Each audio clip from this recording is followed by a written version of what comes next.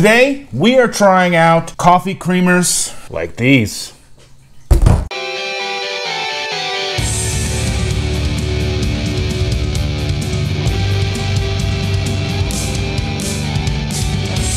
Finally, I think we're doing a taste test in the morning time and the morning day. And finally, I think one that uh, she's not gonna hate. Here's hoping. Here's the plan we have the three different coffee creamers to try out. We have both of the super creamers that I found in the grocery store. I have vanilla, sweet cream, and we have one of the Starbucks because the other one was uh, dirty feet flavored and I don't like that one. Hazelnut does not taste like dirty feet. Yes, it does. This is caramel macchiato. I did not buy the dirty feet flavor, and if you like dirty feet, that's on you, but I'm not. Mm, dirty feet, nasty. All right, so let's go ahead and knock out the Starbucks first. Because this one, okay, so this one is non fat milk, heavy cream, vegetable oil. Starbucks, if you're listening, don't use vegetable oil. Find something else. Uh, high oleic soybean oil, and then there's buttermilk, salt, natural flavor, sucralose, and gellan gum. It's not vegan, so there's buttermilk in here, so you could use animal fats. Please do that. Yes. All right. And the serving size on this one is only One tablespoon. one tablespoon. So what we're going to do is try it first with the recommended serving size, and then we're going to tell you and show you how much we actually need to add to make it work. Okay, so we have three coffee mugs, each with two two ounce shots of espresso. I figure that's going to give us a baseline because that's what we drink in this house espresso Yes. because it's delicious. And I typically do four shots of espresso every morning. That makes my life, that makes your life better. Let's be honest. It's true. It's true. My life is better because she has espresso. Now we use Nespresso pods, but the generic ones from Amazon. Yes. I will link those down below in case you're curious. All right, so this is a two tablespoon measuring spoon, but we're, We're gonna gonna, do about I'm just gonna eyeball it because let's let's be real. Most of you are not gonna be measuring this out. You're gonna be dumping it in until it's the color you like. Which is how I typically drink my coffee. I put mine until the cup is full. All right, so Is there a thing? you know what? There's an inner seal. There isn't. Why does it have a pop cap where it's like? Oh, that's so dumb. Just in case they don't want someone to come along and spit in all their creamers before you get a chance to use it. Well, they put soybean oil in it already, so I mean they've You already. can pour it with that without that pop top. on. I'm gonna, just gonna shake it up now. Let's see how caramel macchiato-y this tastes.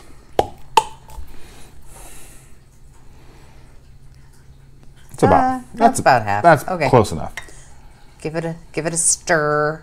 See what color it makes it. Doesn't change the color at all.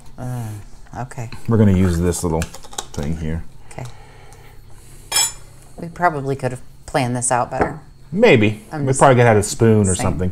You'd think we do this on a normal basis. Yeah, that did nothing for this coffee. Okay, so let's. Absolute nothing. That's drinking black coffee. All right, so we'll do what two more tablespoons? Just put it in until it is a lovely shade of latte. Good. All right, so that's about That's four, probably four tablespoons. four or five tablespoons more. And looky Lou, I have a spoon. Oh, that looks prettier even. There you go. It's better. It kind of waters it down though. Um, Isn't the first ingredient this? No, it's non-fat milk is the first ingredient. I think I get that. You know, it definitely has a caramely flavor. Um, I would drink it if I had to, but I wouldn't pick it. This is not cheap either. Right. It's the It- same price as the non-zero whatever version. It's the same price. So when I add cream to my coffee, we use heavy cream, and I definitely like it a lighter tint. It's so sweet. Yeah, it is very sweet, but it's watery flavored. It is, the yeah. The cream that I use, the heavy cream that we use, is just the generic Walmart brand. It does have carrageenan in it. Uh, car- I haven't found any that doesn't have it. Anywho, so it, it makes it thicker, but it doesn't water down the flavor. You still get full coffee flavor. This waters down your coffee flavor and adds an um, quite a bit of sweet flavor. So I mean, it's okay. It's very uh, boring. It's very sweet. There's no real flavor. Like, okay, so for reference, I can't honestly remember the last time I had a sweet coffee. It was probably back in like 2015 hmm. when we were drinking the caramel macchiatos from Dunkin'. Yeah, Those gigantic 30 whatever ounce that were like 400 grams of sugar. that were like four bucks. Oh, they were so Instead of good. the Starbucks, like twenty dollars. Oh, if they you were wanted that. so good. Basically, just like ice cream water is what we were drinking. Right. And this is sweet.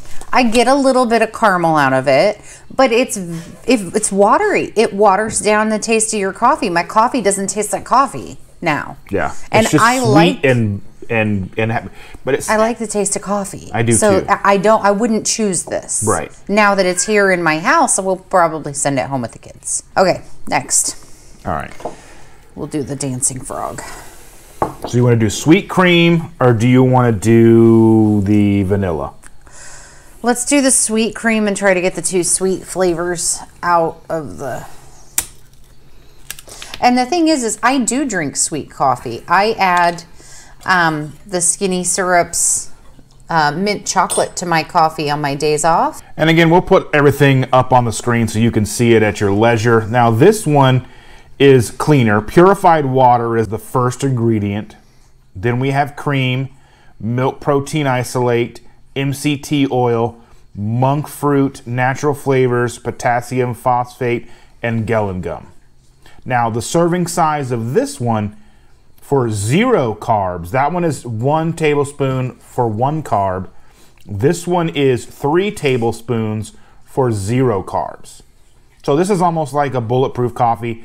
And it, you know, it's got the MCT oil in it, the monk fruit. So if you're doing, in, if you're doing the bulletproof coffee, This might be an option. this would be an option definitely for you. So let's go ahead and try. Let's do. There's one. It looks thicker. It does look thicker, so- Does it change the color of the coffee? It does, Well, that's good. like a normal person coffee. I'm gonna try that. Because I'm not a sweet coffee person, so I mean, this is probably one of those where I'm not gonna be happy about it, and she's gonna be okay with it. Try it.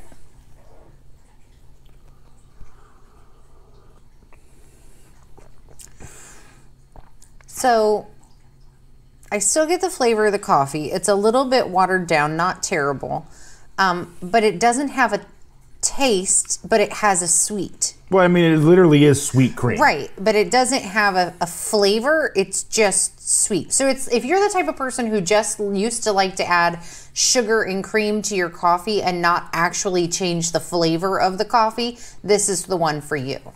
Um, it does water it down a little bit, but not significantly to where it's undrinkable, where you can't taste your coffee. Pour just a little bit more in there to see. That lightens it up about what you like. Yeah. I probably wouldn't drink that. I don't mind it, but I wouldn't choose it. We'll use it because it's here in the house, but I wouldn't pick it. Yeah, again, I think I have a total disconnect. So when I was purchasing these, I was like, oh, these might be good, forgetting the fact that I don't drink sweet coffee. I haven't drank sweet coffee in a long time. And I do, so I don't mind the sweet, but I am very accustomed to the thickness that regular heavy cream adds to your milk. That watering it down for me is uh, very off putting. And you know, coffee drinkers are weird people. We all prefer specific no, no, no, no. I mean, clean this one off. oh, we all prefer certain things. If you're finding value in this video, please take a moment and check out my merch store in the link below. It supports the channel. We've got hoodies, we've got shirts, we have grocery bags, we have aprons, we have all that stuff. So if you want it, we've got it. Take a look, link in the description. Thanks so much, everybody. when I first started drinking coffee, it's story time. It's fine, right? uh, when I first started drinking coffee, I, like everybody else, would drink what could be basically summarized as kitty coffee. Yeah. Six, eight packets of sugar, a couple of creams.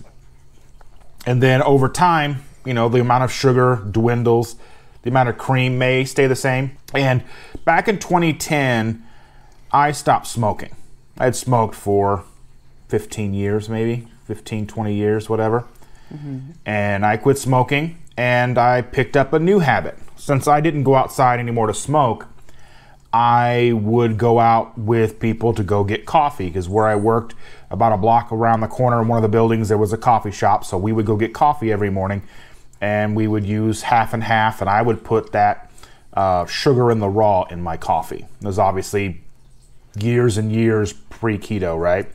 Um, then over time, it just became to you know less sugar, no sugar than just cream. And then for a long time, I drank just black coffee. And it really wasn't until we went keto that I discovered the bulletproof coffee, or basically my ridiculously fat coffee. So, really, for about two years, what I would do is I would drink a 30 ounce steel, like Yeti style cup with 165 grams of fat divided between butter and coconut oil. I don't know how you could do that because I can't. I've tried the bulletproof coffees and that texture it leaves in your mouth. Oh, it was, I don't know. I mean, oh, it's horrible. I think that that was one of the saving graces for me that helped me stay true to the diet or stay true to the lifestyle and get acclimated. And I'm talking half a stick of butter, salted butter, mind you, not even unsalted. I just went full on. And then I would put, I don't know, six tablespoons of, of, uh, of coconut oil in that coffee blend it up. I mean, we went through I don't know how many uh, immersion blenders, A lot. a lot of immersion blenders. The first few that we bought were plastic. Don't do that. They just start cracking right up the middle because of the, the heat of the coffee. That is how I was drinking my coffee for about two years. It was like 1,100 calories in my coffee. Now, I'm not a huge person that looks at calories, but 1,100 calories in my coffee every morning for about two years. Then But in that time frame, you lost 140 pounds. So Yeah, I lost a lot of weight, and you know, in that time frame. And then uh, I'm not sure why it. You know, it kind of dwindled off. The you know the uh, the bulletproof coffee dwindled off, and then I basically just started drinking coffee with uh, just heavy cream in it. On her day off mornings or the mornings that she's not working, she'll put in like a skinny syrup in hers. It's her treat, if you will. And I, like I said, that's why these are so weird to me with sweet. I'm hoping maybe the vanilla might be good. No, we just did that one. I need the vanilla. So the vanilla one, we'll try it. Thank you for taking that journey with us through story time. You know what? I like stories. I And figure. see, I've always enjoyed coffee, but I've not ever really been a super sugar person. So um, I say that what I mean is sugar in my coffee. I am obviously fat for a reason, and I totally, totally have a thing for sweets. However, in my coffee, I've always been an aspartame girl. I know it's weird. I can't help it. I like the pink packets. I mean, granted, I still like diet soda. Just last night, I had one of those new Coke Zero Starlights. Tastes like space. Oof, gross. All right, you go first. We still have to drink all this coffee. I have to drink all this? Well, no, we don't really have to, but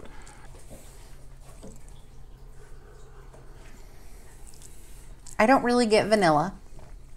I still get sweet, but not as sweet as the sweet cream. it's like a little bitterness in the sweet too. Yeah, I, I'm not getting vanilla from it.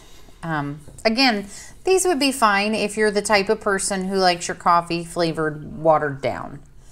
I really prefer heavy cream, and it, you know, you know how coffee people are. If they get to one style, that's sort of what they're going to stick with. So it might take our review with a grain of salt here on this one. Yeah, I, like I said, neither one of us really drink our coffee on a normal basis sweet.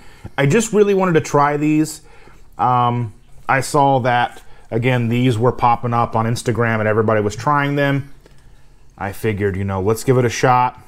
It was uh, not good. Yeah, no, it was not good.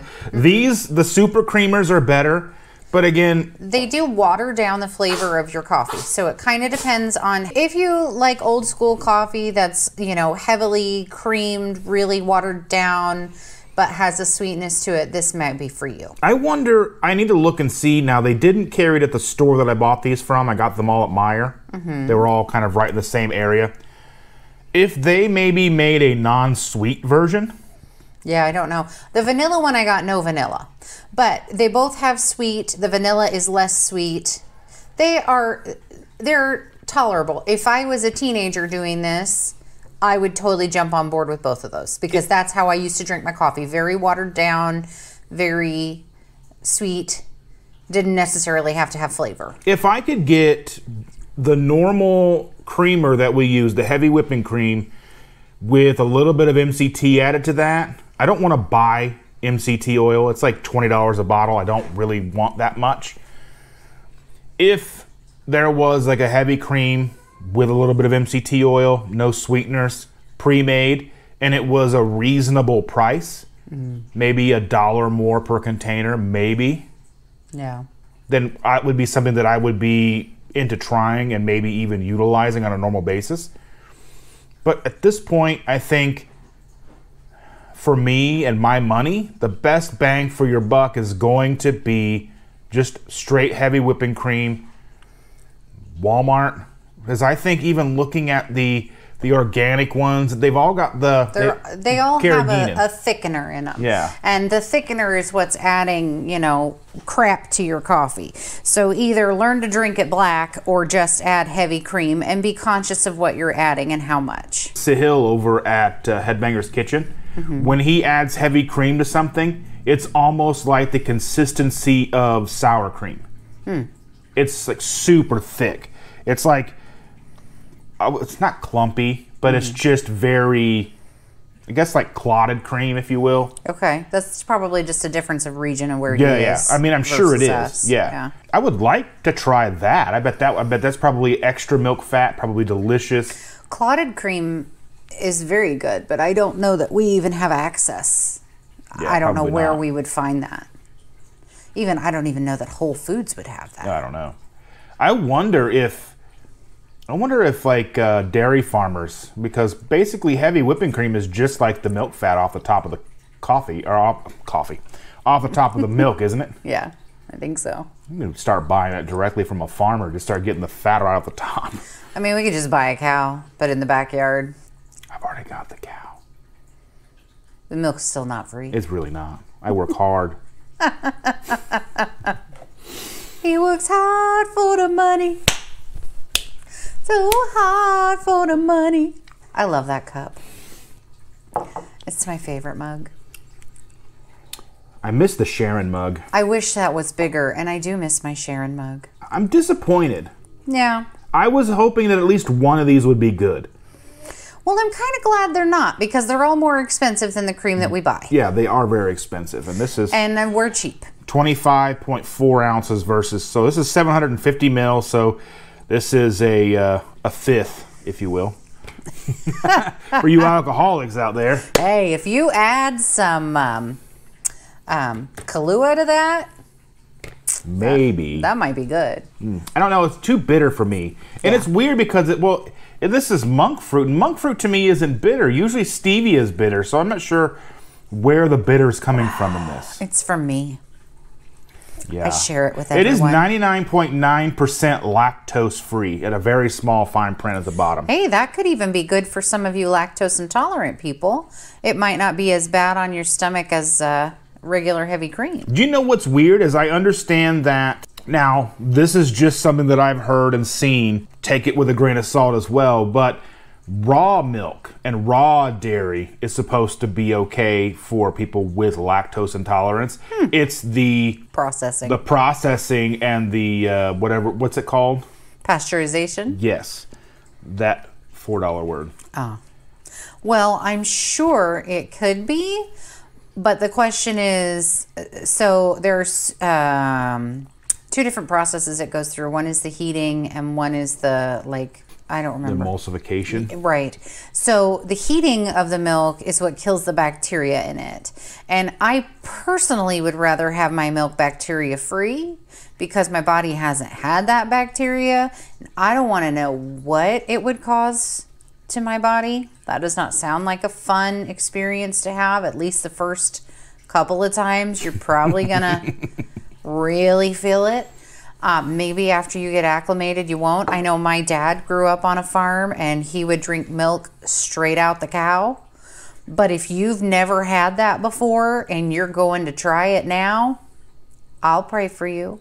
I'm sure. That's like, you know, going on vacation and drinking the water. Right. You'll make it through most likely. You may not not enjoy it. you Got to do more than hold on loosely.